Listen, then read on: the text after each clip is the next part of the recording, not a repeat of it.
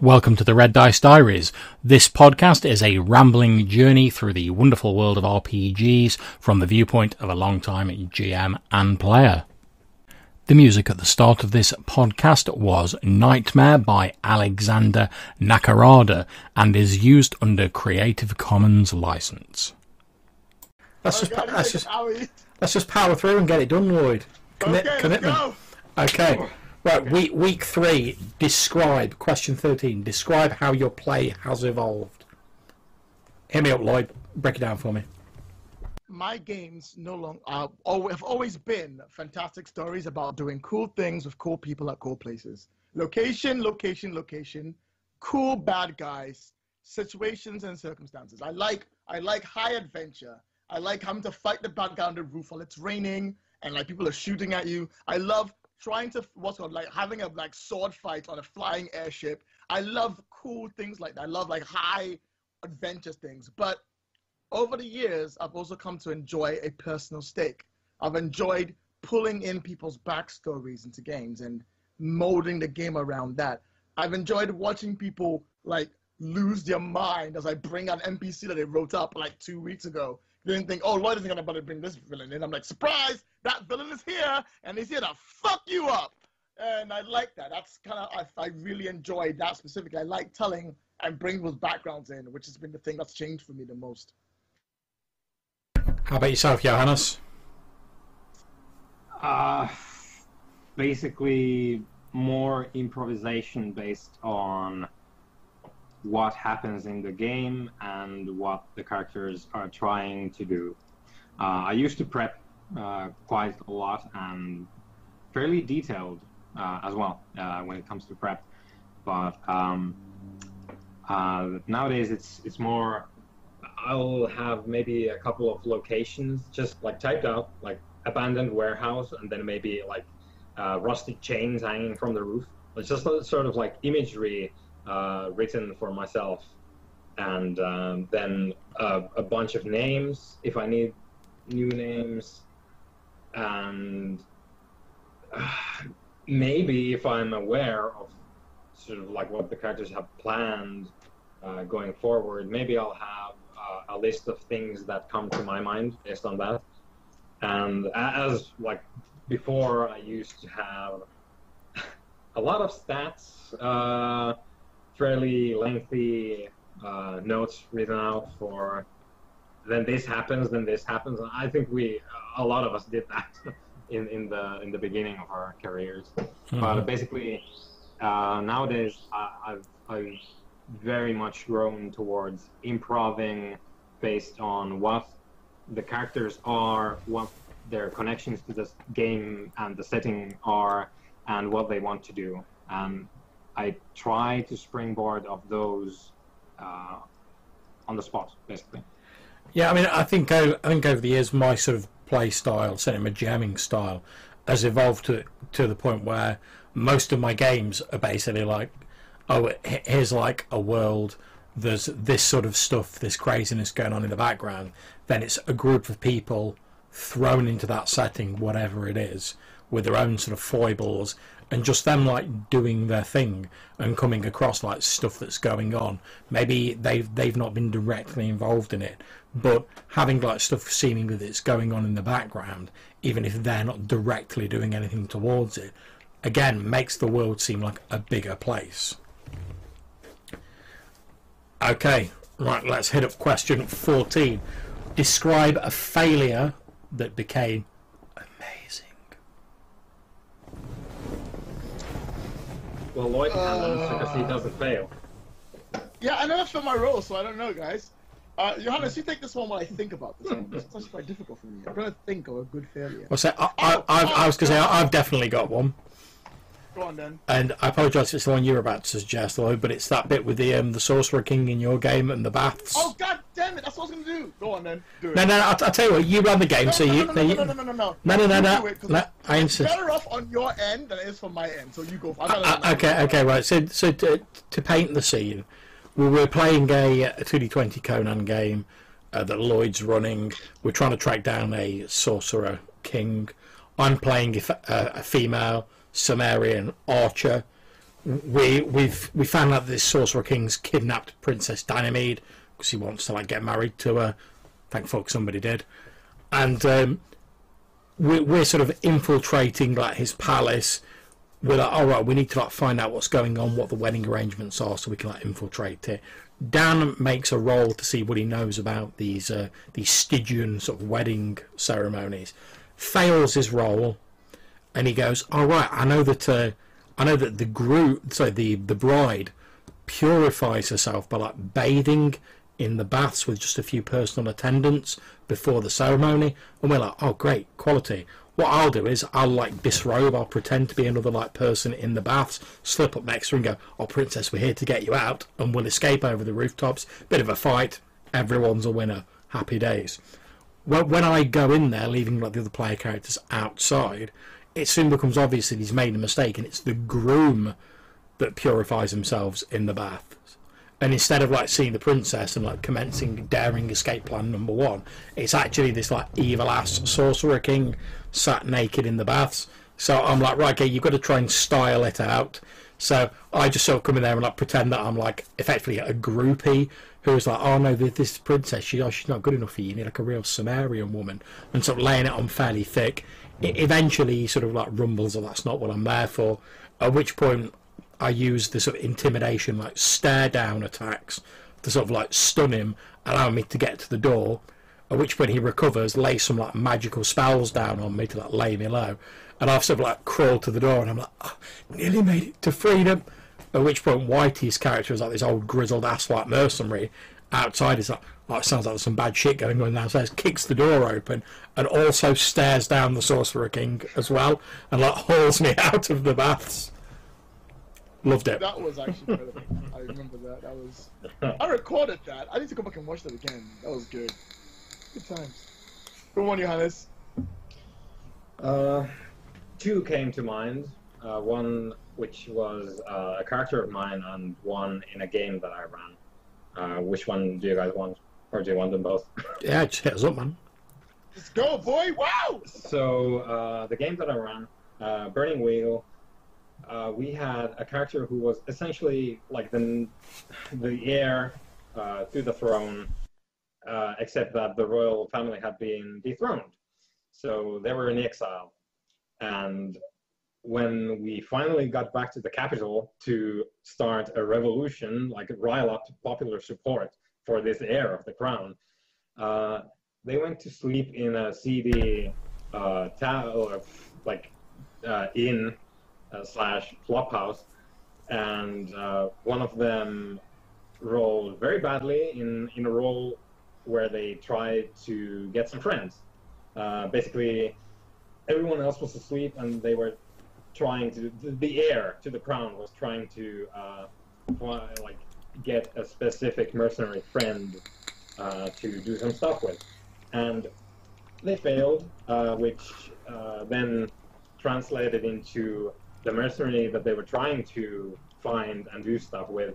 Uh, they were like drunk off their ass uh, with a loaded crossbow in, in their hands while, while they were like bumbling around the tavern and accidentally shot the um, the heir to the, the crown.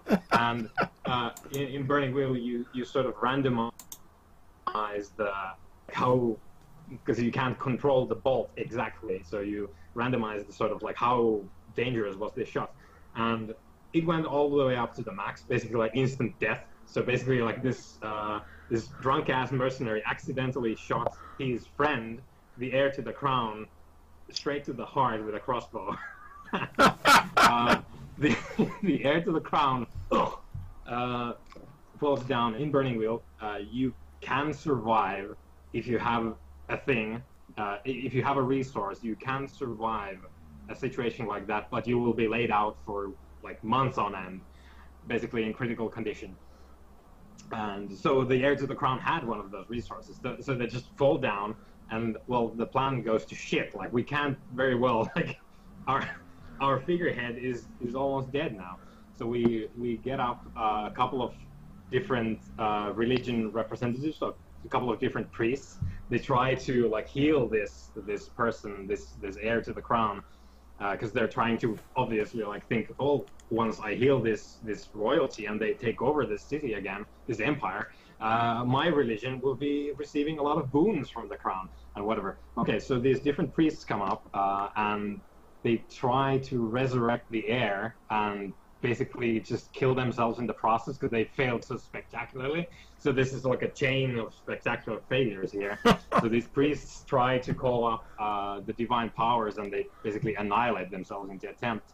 Nice. And uh, eventually, uh, it culminates into a couple of uh, manifestations of, of deities uh, unexpectedly, like just stepping down into the capital city.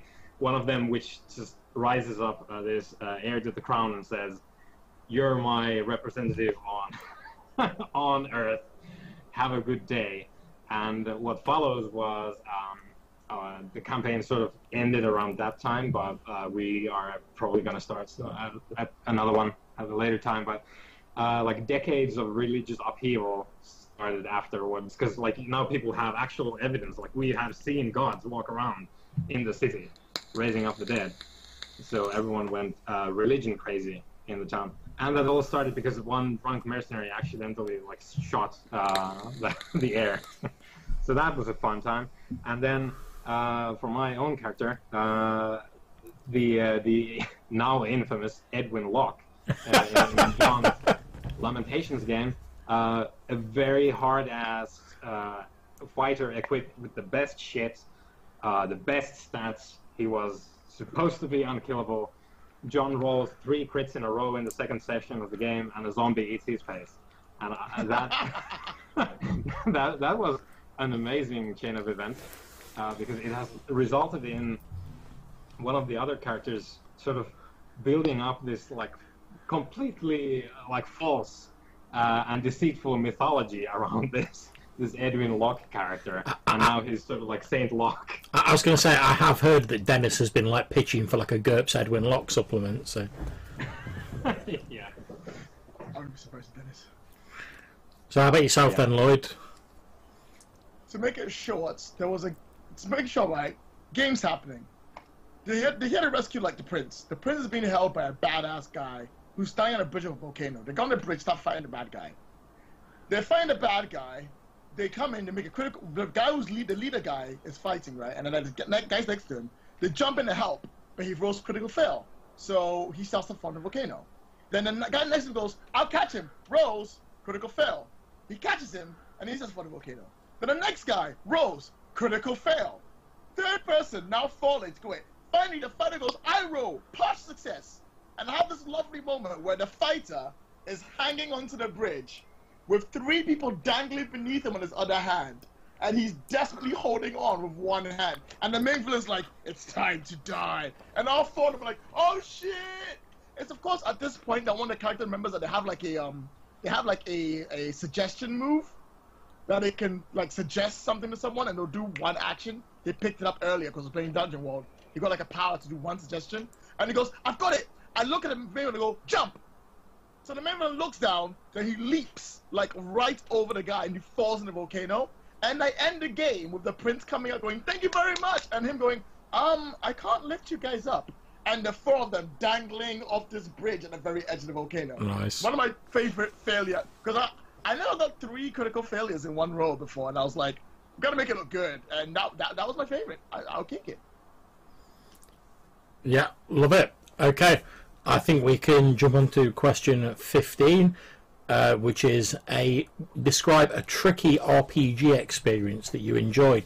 I'm not quite sure what it means by a tricky RPG experience. I think it means something that may have made you slightly uncomfortable, but after you went back and thought about it, you realized it was alright.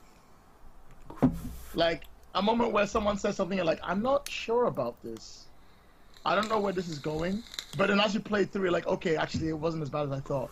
I don't. I think it it sounds as it reads like. Oh well, well, if you'd indulge me for a few minutes, I have just remembered another failure that was amazing as far as I'm concerned. go that, on. that, that just made me laugh. Um, it was in the, the Lamentations game I'm running that Johannes is playing in, and we've basically got um, a, character William, who's played by Johannes Einloft, who is like Dungeoneer Supreme. He's like prepped to the max. He's got your rope, your ten foot poles, you like everything you need to be in a dungeon. Then we've got the other characters who are. I think it's fair to say Johannes are a bit more sort of laissez-faire when it comes to the whole like dungeon prep.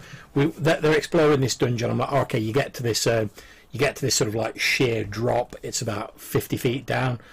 Johannes Einloff, William is like, no problems, busts out the 50 foot rope, ties it off, down they go, they carry on. Oh, there's another drop, again about 50 feet.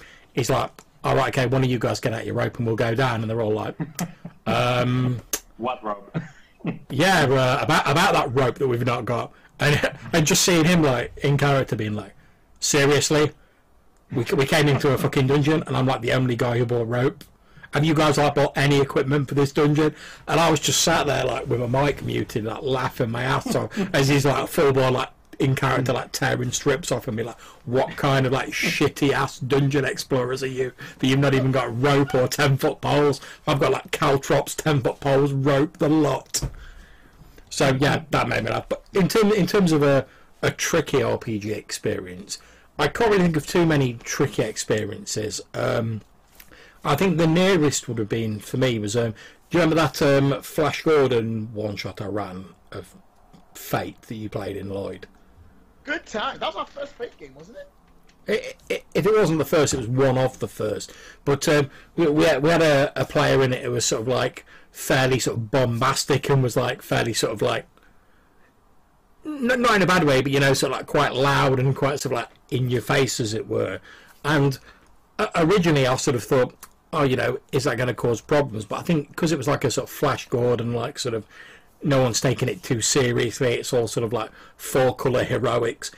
It was it was absolutely fine and I really enjoyed the game. But certainly at the start I was like, oh, is, is this guy like going to work with the other people in the group? But yeah, it turned out right in the end. Thanks, all right. I I'm thinking of one that I can say without being offensive, because I've had a lot of tricky moments where I'm like, I'm uncomfortable with the way things are going, but it's turned out all right, and I was like, I'm glad I stuck through it.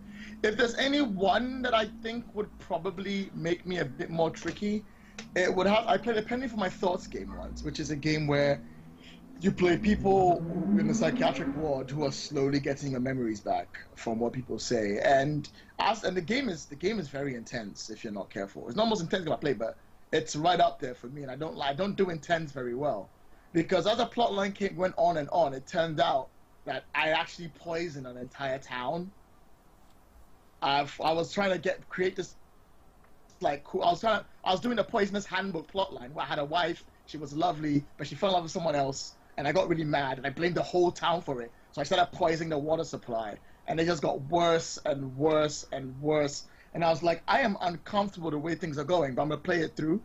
And by the end, I was like, that was actually incredible. I, it was I embodied the character, and I went in for it. And by the end of the game, when I realized my, mem- my I realized my memories, I chose to forget everything again because I'd chosen to forget things before.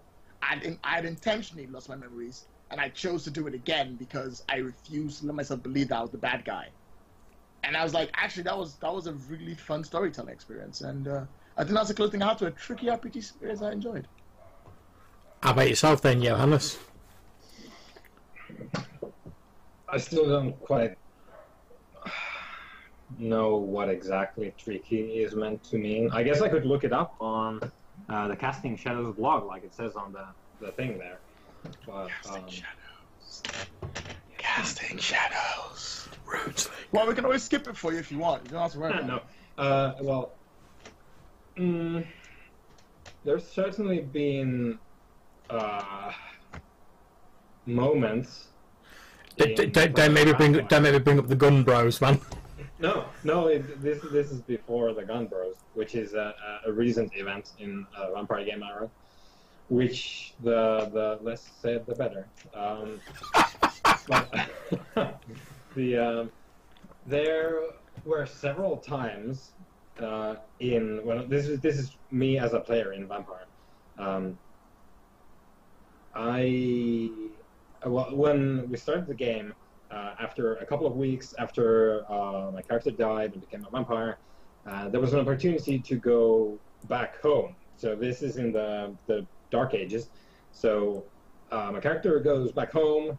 There's this this uh, wife to be that I wrote into his background. So it, it, it was a person that he was like building up the, the dowry for and everything to to get married eventually.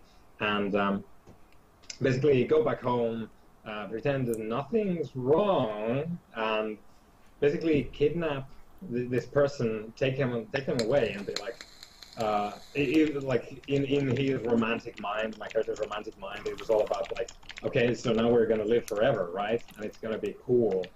And what, uh, and obviously, like that night, uh, there was an, an, an embrace, and the wife became a vampire as well. And what resulted was like 600 years of uh, this on and off, really grueling uh, like facing up to the realities of, of trying to mimic being in an actual healthy relationship where both of the people in the, in the, the relationship are vampires and uh, completely inhumane. And uh, we like there were moments where like okay uh, it's been a couple of hundred years now and the relationship is in a is in a difficult place because there's sort of a desire to have offspring, but that's off the table now. So it goes into disturbing territories when you start looking for alternatives. to, Yeah. uh, how how do you have offspring? That's not just okay. Let's take Joe Schmo off the street and make him a vampire. Uh, so there there were definitely some uh, fairly intense uh, topics like how do you have babies when you're a vampire? You don't. Spoilers. You don't, but you get up to some disturbing shit. I just want to pop a baby, y'all. Shoot. You, you make some uh, ridiculous homunculus type horrors that then you nurse.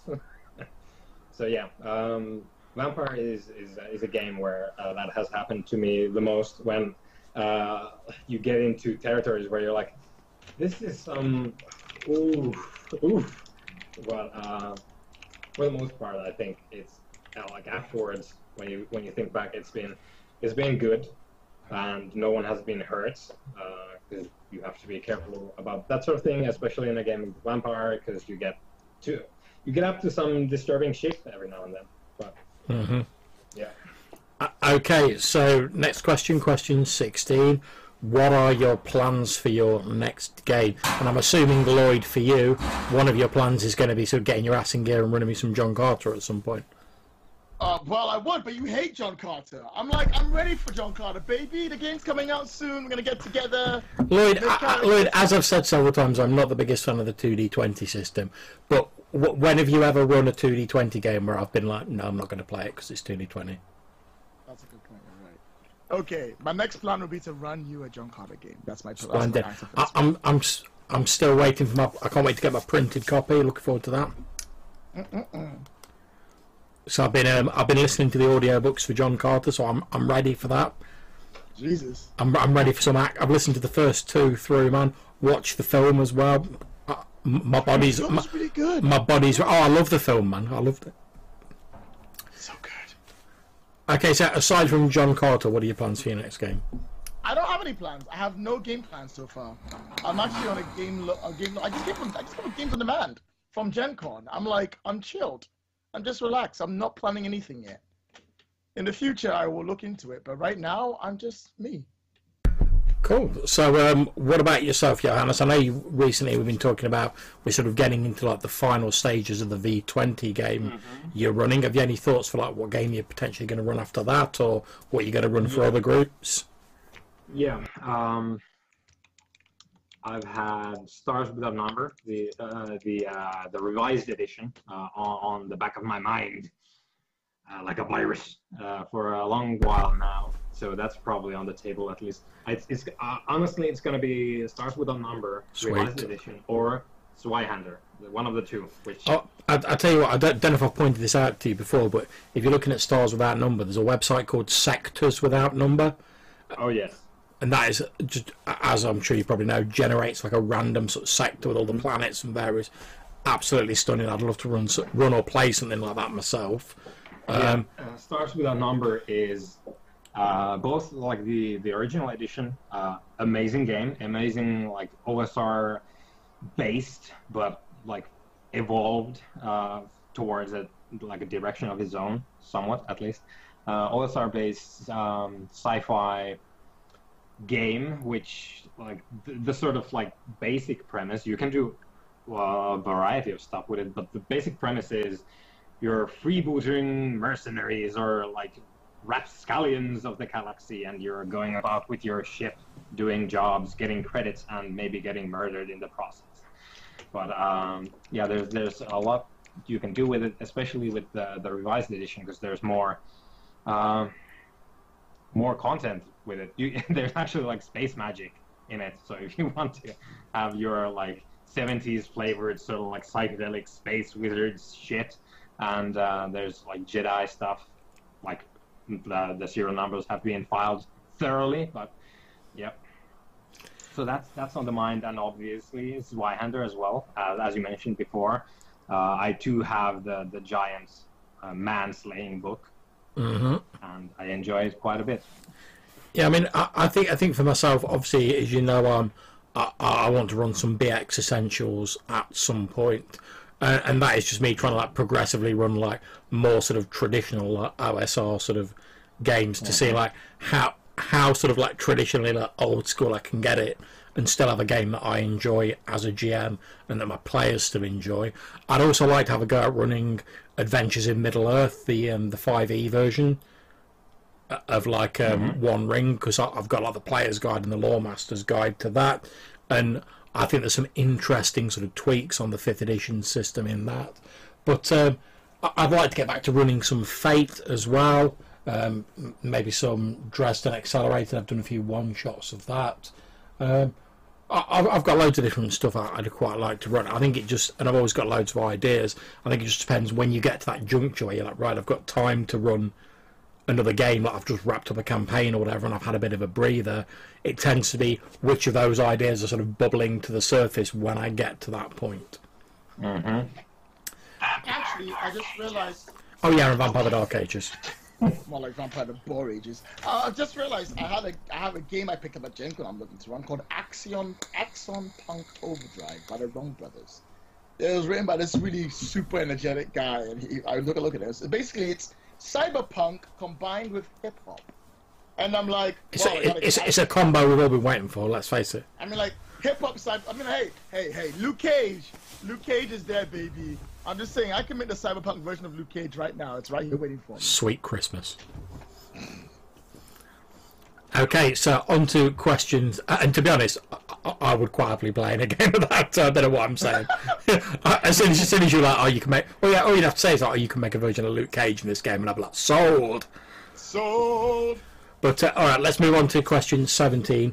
Describe the best compliment you've had while gaming, and I'll I'll quite happily hit this one up. For me, the the best compliment is whenever you're like talking about games, and someone either says like oh hey, do you remember this when this happened in that one game you ran, or this was cool when it happened in that one game you ran, or do you remember when your character did this? Especially if it's a game that like happened ages ago, and someone's like, oh, do you remember when this happened? And it's the fact that with everything going on in like people's like real lives and all the many and various like hundreds of different games we play, if something in a game has been sort of worthwhile enough to like stick in a person's mind, I always think that's a great compliment if there's one compliment my ego really could not handle because I was like, oh my god, I can't believe someone said this. Someone once said, meeting me after after seeing me run a game online was like they were starstruck, and I, am like, I, I, can't, I can't, I can't accept that phrase to the phrase because I am. L- L- Lloyd, I only said it. I only said it the once. Okay, but like I, I, I spent like the rest of the day just basically on a on a in, like, it's a person I really um, I give I have mad props to. Literally was like, yeah, Lloyd, meaning it was just made me starstruck, and I'm like, I'm I'm I'm done. I'm out. That's it. Nothing will be better than this. Yeah, I mean, I, I, think that that has been one of the great things about online gaming and sort of going to a few more cons, like UK Games Expo is like actually. Obviously, I love the online gaming. Don't get me wrong, and due to like the fact we all live in various different places, we, we couldn't do like regular face to face games. But be, being able to, on like occasions, meet the people you've gamed with online and actually sort of like interact with them as people. I, I think that's a really great thing, and it's, it's certainly one of the main draws of like conventions, along with like getting to game with new people. For me, Yeah. How about yourself, Johannes? Well, honestly, the answer is gonna be just every compliment ever, because I'm Finnish, and most of our compliments uh, like boil down to it's not bad. So whenever someone says that was good, I'm like, Oh, oh dear sir, I'm Mr. Darcy. So I think this game was better than average. Oh wow! yeah. So uh, not really used to handling compliments. So that that's that's my answer. I, I every compliment I get is always somewhat of a surprise to me. Like, oh, well, really? You you, you think that? I, I, do think. I mean, I think you raised an important point there. It it is a, a good thing to like compliment someone if they run a good game.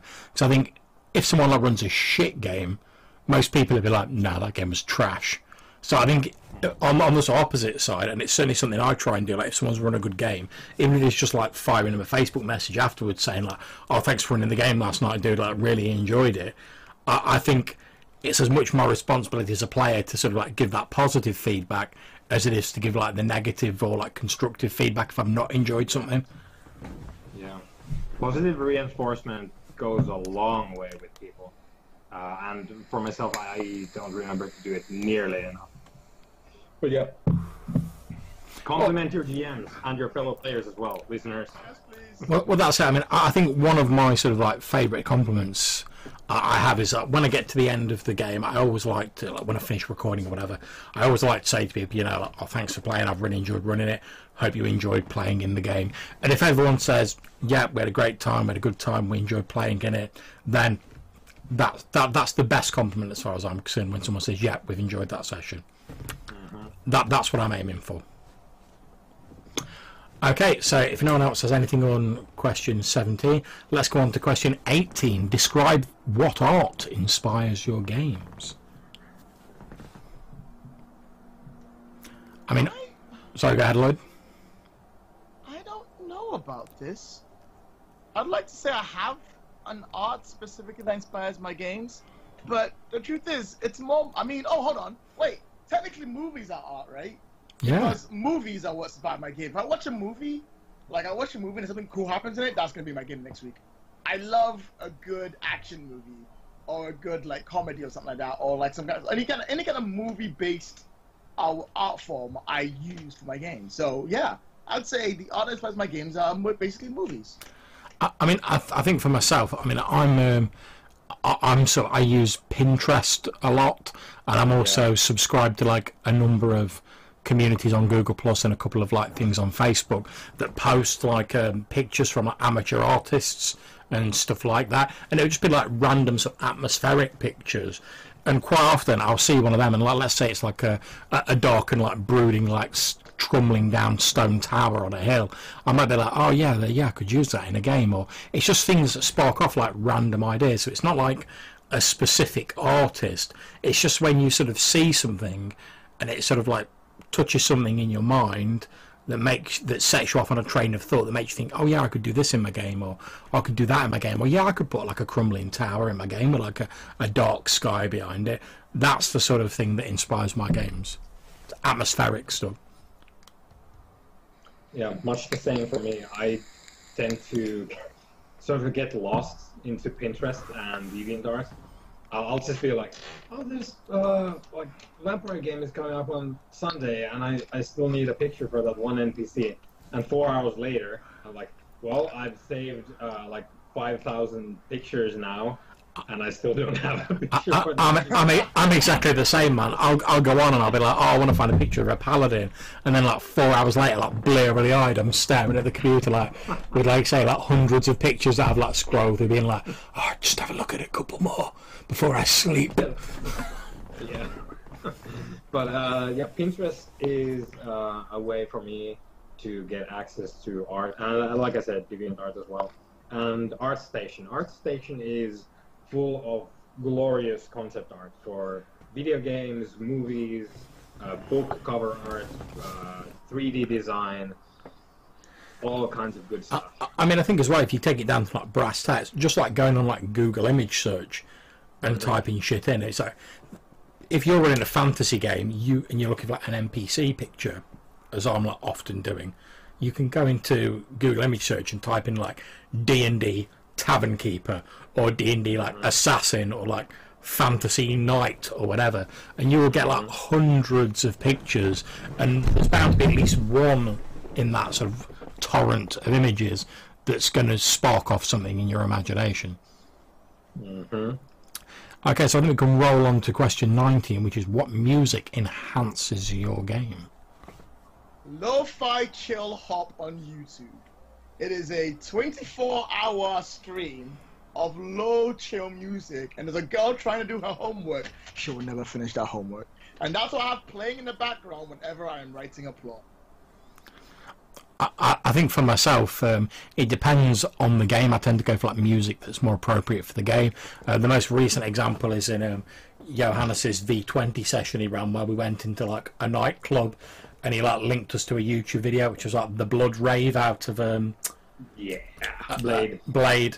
And like literally, as soon as that sort of like thumping like club music came on, like a bit of a sort of metal undertones in the background, I was like, right, that tells me everything I need to know about this scene. I've seen Blade. I know what sort of club it is. I know what sort of clientele it is. Right, let's go. And it like, obviously Johannes went on to describe the place and like the people who were there. But even before he got to that description, I was just like, yeah, that music just told me so much about that scene, which I think really did like, enhance it for me. Because it wasn't just me going like, all right, okay, so Johannes, you're telling me this, you're telling me that.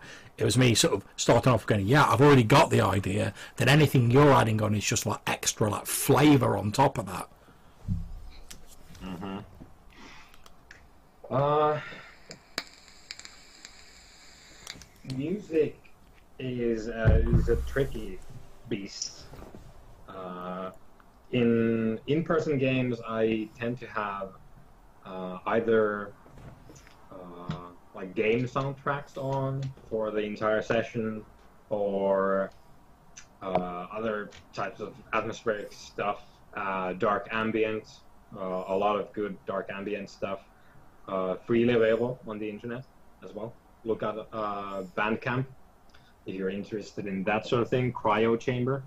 Um, I tend to get inspired by music a lot. So, and what I mean by that is uh, either like on the character level or the scene level, or just like in a vague sense, like the thematic level of uh, either a session or a campaign. So I could be listening to um, like one of my favorites uh, from some black metal band that I like. Like, yeah, I, I really like this song, and there's this particular piece of the lyrics or this particular riff that conj- conjured up these images, and then uh, I might uh, try and sort of base a session around what came to my mind from listening to a song. Yeah, I mean, I, I think um, one of the advantages of YouTube, and I, I sort of listen to it a fair bit myself, is rather like we said about Pinterest when you browse through for pictures, because often like when you play some music that you like, you'll get like, here's some similar videos, some of which you won't like, some of which won't be applicable. But I quite like sort of clicking on a few of these, and I'll be like, oh yeah, that sounds quite cool, and I just like, add it to a playlist. So I've just got like a big playlist that's like constantly changing, so that if I'm writing, I'll have that like playing in the background. Then occasionally, mm-hmm. I'll just look up and go, oh, what's it suggesting, and I'll try one of them. And as well as sort of expanding the music that I listen to, as well as reminding me of some like oldies I've not listened to for a while it also, like you say, it helps bring those different moods and like different sort of vibes to a game as well. Mm-hmm. You got- got anything else to add on music, Lloyd? No, I think you guys have pretty much covered that whole thing on board. I I don't tend to play music in my game because I don't like getting distracted or I'm very loud. But every now and then I'll put something in to make it atmospheric. But I very rarely do that. I have friends who do nothing but music all their games, but for me it's it's a distraction more than an actual effect. and also I, I sometimes might put one in to like enhance the effect of a scene, but then the music is gone, and I'm like, well, I, I could have done without it. Yeah. So that's it for this episode. If you have any questions or suggestions for things you'd like to see in the podcast in future, please either email them to reddicediaries at gmail.com or drop me a voicemail at Anchor. Until I see you next time, wherever you're playing, take care and enjoy yourselves.